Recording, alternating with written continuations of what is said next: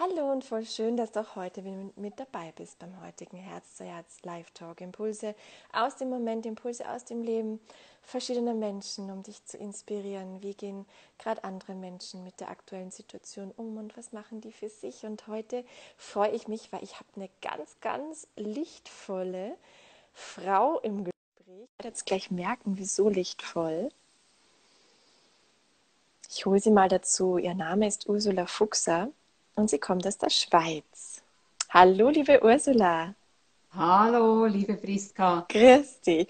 Du, ich liebe Ursula, kannst du dein Handy nochmal so ein bisschen ah, drehen? Oh, ja, ich sehe es gerade. Das wir, genau, das sind wir uns ungleiche. Gut. Ja, hallo und herzlich willkommen, liebe Ursula. Schön, dass du heute ja. mit dem Herz zu Herz Live Talk bist. Herzlichen Dank für die Einladung, liebe Friska. Ja, so, so gerne. Ich habe gerade schon von deinem lichtvollen Wesen erzählt und beginne dich jetzt auch mal vorzustellen, liebe Ursula. Du bist ja in der Schweiz und von Kindheit an begleiten dich drei Themen, liebe Ursula, und so habe ich dich auch kennengelernt. Das ist der Tanz, ja, ganz, ganz wichtig in deinem Leben, die Natur und aber auch die Begegnung mit der Heilung. Du hast ja erst in deinem Leben äh, nach ganz so einer Tanzausbildung oder einem Tanzweg hast du eine kaufmännische Ausbildung eingeschlagen und äh, nach ganz vielen ja verantwortungsvollen ähm, Positionen in der Wirtschaft hast du dich aber für ein Rausgehen da entschieden, um zu lernen und hast viele ja, viele Wege kennengelernt. Ja, du hast ja Körpertherapie-Ausbildung, du hast aber auch das Schamanische aus Brasilien so ein bisschen mit reingenommen. Ganz viele Menschen, die dich in deiner Arbeit und in deinem Sein, wie du jetzt gerade wirkst, unterstützen und dich inspirieren. Ja, da hast du ganz viel kombiniert und hast dann ähm, deine Praxis gegründet, wo du jetzt ja Menschen ähm, mit körperlichen Themen, aber auch natürlich ganzheitlich, äh, geistig, seelisch begleitest, heilst in dem Sinne. Und da hast du auch deinen Zugang zu einem ganz, ganz besonderen Instrument gefunden. Es ist die Lichtmedizin. Vielleicht kannst du danach auch noch mal ein paar Worte dazu ähm, erzählen. Denn die Lichtmedizin, und ich habe es ja selber auch schon ausprobiert, liebe Ursula, die ist so, ja, das ist wie so ein goldener Schein, der irgendwo Körper, Geist und Seele auf einmal miteinander verbindet. Und es ist wirklich ganz, ganz heilsam auf vielen, vielen Ebenen, die, ähm, ja, die wir oft nicht sehen können, aber sicherlich für viele auch fühlbar und spürbar sind. Liebe Ursula, mit all deiner, ja, mit deiner Arbeit jetzt gerade auch und mit deinem Umgang mit Menschen in deiner Praxis, wie nimmst du die aktuelle Situation gerade wahr? Was ist da auf deinem Platz gerade so präsent? Ja, ähm, ein großes Thema sind die Gefühle.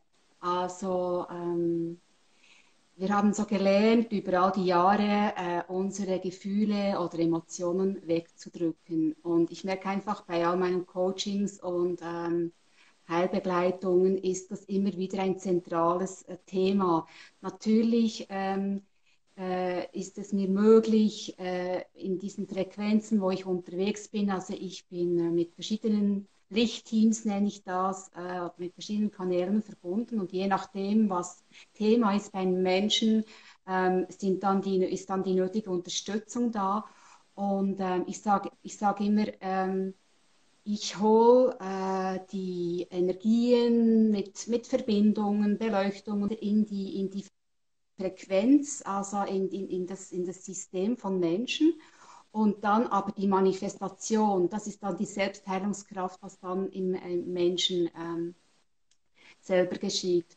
Und, ähm, und da gibt es auch immer wieder Spontanheilungen, manchmal auch bis zu geistigen oder, oder chirurgischen äh, Operationen.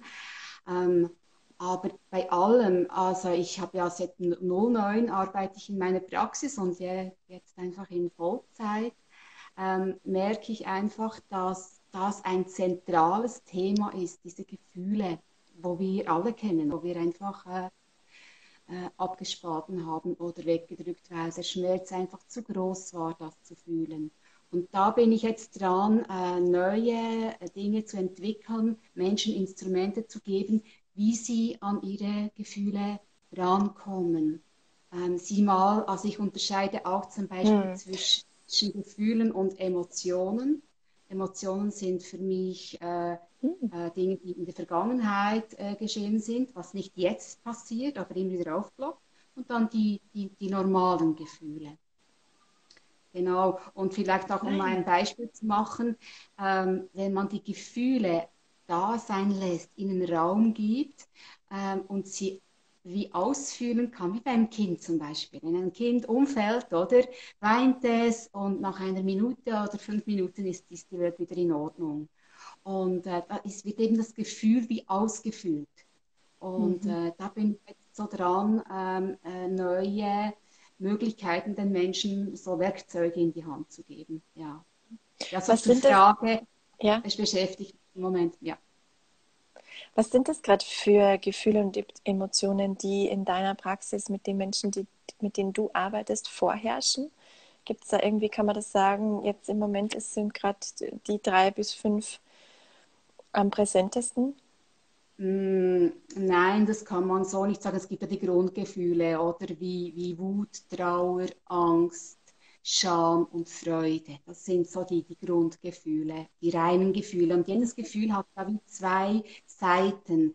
Ähm, also auch die Angst hat eine wunderbare Qualität. Also wenn, wenn sie, wenn sie äh, von der lichten Seite her äh, betrachtet wird, oder da kommt ein Mensch komplett in seine Präsenz, in seine Ausrichtung, in seine Fokussierung durch diesen, durch diesen äh, Adrenalinschub von, von, von diesem äh, auch sehr kraftvollen Ge Gefühl. Oder? Und das andere ist dann natürlich, wenn wir es gegen uns richten. Nein, also das sind so, eben, das sind so diese Grundgefühle, aber die Hauptthematik ist oft auch, ähm, also überhaupt die Gefühle zu fühlen. Äh, und das beginnt für mich bei der Körperarbeit, also im, den, im, Körper zu Hause zu sein, den Körper wahrzunehmen, weil wir können, äh, das ist wie eine Kommunikation mit unserem Körper. Wir äh, können mit unserem Körper sprechen und das können wir wieder lernen. Das, äh, das haben wir alle in uns, vielleicht ausgeprägt oder weniger. Und äh, das ist eigentlich der Schritt eins, wieder im Körper ähm, anzukommen und, und ihn ähm, wahrzunehmen, oder? Wie, das, wie, wie die Energie zirkuliert oder wo es vielleicht dunkle Plätze gibt, wo vielleicht hellere. Und dann als zweiter Schritt dann eigentlich die Gefühle zu integrieren. Weil sagt ja. jemand, ja, fühl, und da sagt er mir, ja, wie, wie mache ich das, oder? Kennst du sicher auch ja. so ja. Themen. Ja. ja. Absolut, wow, wunderschön, dass du da die Menschen heranführst. Das ist tatsächlich ja die Basisarbeit, die an manchen Stellen da jetzt auch ähm, ja. gemacht werden muss, gell? dass wir überhaupt wieder dieses Körperbewusstsein entwickeln. Und ja. ähm, du hast jetzt vorher erwähnt, du arbeitest da gerade auch daran, eben so Unterstützung den Menschen anzubieten, was jetzt eben gerade so Angst, Scham, Wut und so weiter betrifft. Mhm. Was ist, ist das in Form von der Lichtmedizin oder wie kann ich mir das vorstellen? Ähm, also die Lichtmedizin ist ein weiter Begriff. Das ist mhm. also alles, was ich tue, ist eigentlich Lichtmedizin mit diesen Kanälen, wo ich verbunden bin. Und eines davon ist die Goldlichtessenz, was letztes Jahr zu mir gekommen ist. Das ist wieder ein anderer Kanal, als wenn ich arbeite und es zum Beispiel um eine Krebsbehandlung geht, geht oder, oder ähnliches. Ähm, und ähm, zur Frage, jetzt habe ich den Faden verloren, wegen, ob das Licht, die Lichtmedizin ist. Genau, du hast ja gesagt, du bist dabei, gerade so neue oh, Instrumente ja, oder genau. Hilfsmittel zu entwickeln für die jetzige ja, Zeit also gerade. Ich, genau, jetzt habe ich es wieder. Ja, das, das mache ich natürlich, das frage ich natürlich äh, ab, also ähm, mit, mit diesem Kanal. Also die Lichtmedizin ist eigentlich, sind die Kanäle. Mhm. Und mein Kanal ist eben ähm, sind die Lichtfrequenzen. Und äh, von daher äh, auch den Begriff, Begriff äh, Lichtmedizin. Und was ich auch sehr gerne äh, immer wieder auch integriere, ich gehe oft auch in die Natur mit den Menschen in Coachings, also oft arbeite ich über die Ferne, aber wenn sie zum Beispiel vor Ort sind oder ich zu ihnen reise, äh, ich habe hab gerade am, am, Sonntag selber wieder so eine Erfahrung gemacht. Ich bin ähm, barfuß, also ohne, ohne Schuhe gelaufen. Oder?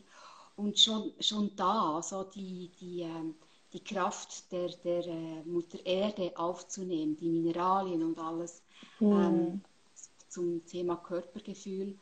Ähm, und in der Natur, also die Natur spricht ja auch mit uns.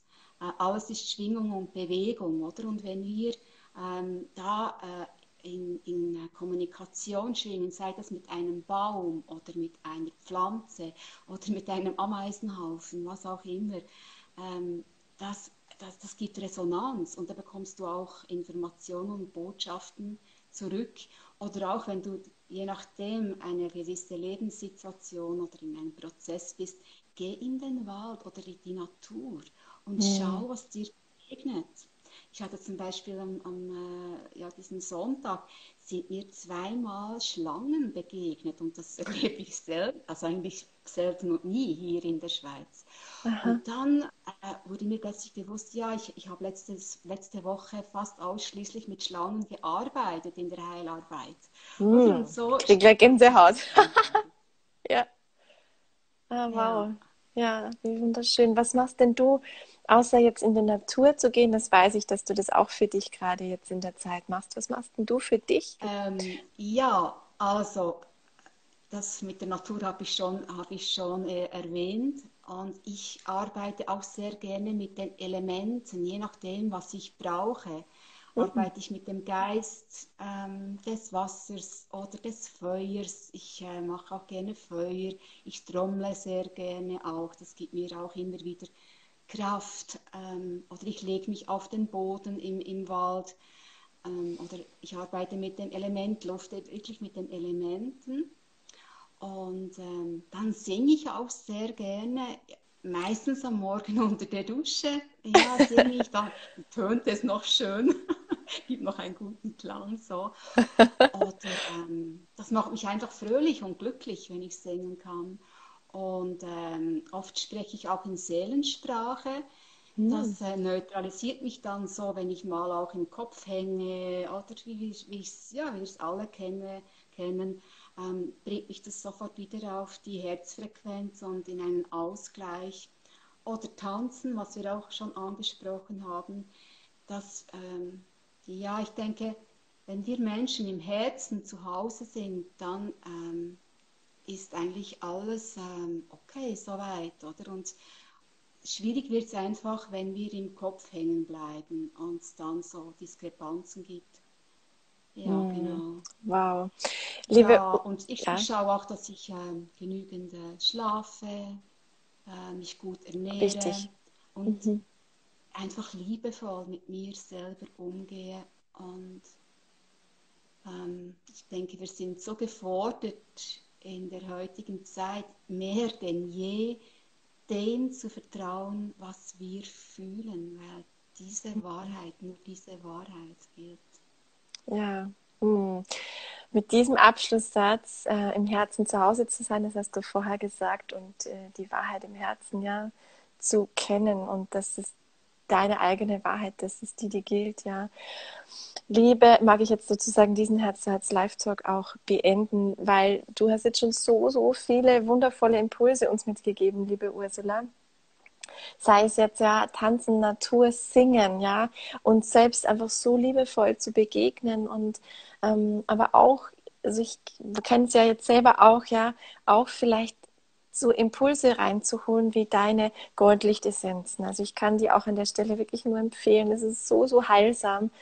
Und ja, ich danke dir deswegen an der Stelle, liebe Ursula, für all deine Arbeit, die du ähm, hier gerade so in die Welt trägst, schon lange ja in deiner Praxis, aber jetzt auch sozusagen äh, im deutsch-österreichischen Schweizer Raum. ja, genau. Vielen, länderübergreifend. Genau, länderübergreifend. Richtig. Oh, das war auch noch ein schöner Endsatz, persönlich für mich gesehen. ich danke dir, liebe Ursula, für deine Zeit, für deine ja, Worte und einen dir. wunder, wunderschönen Abend. Ganz viele Bussis in die Schweiz. Ja, dir auch. Bis bald. Bis bald. Tschüss. Tschüss, Priska.